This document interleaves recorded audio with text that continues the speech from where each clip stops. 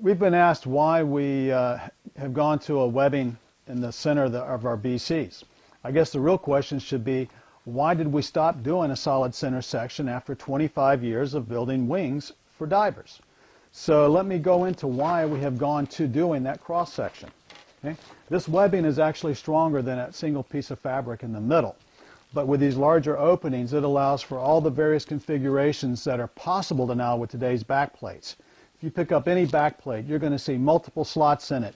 We're doing independent doubles, singles, multiple slot positioning, and by doing that, you can now accommodate that. And also, by only capturing the center piece, it also allows the diver to shift the wing up and down on the center axis to get that right control to get his lift the way he needs it to get horizontally buoyant because he's not going to be limited to where the cam straps are anymore. Also, one of the big reasons for doing this was that the whole design of the wing is that we were trying to make the wings give them more lift, while at the same time keeping them smaller looking. Well, the only way to do that is give them a 3D effect.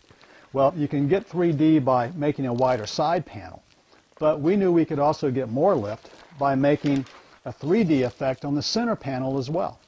So by going to this, it allowed us to get more 3D on the inside as well as the outside. So the wing looks smaller but still has more lift because we've given that 3D effect on both inside and outside.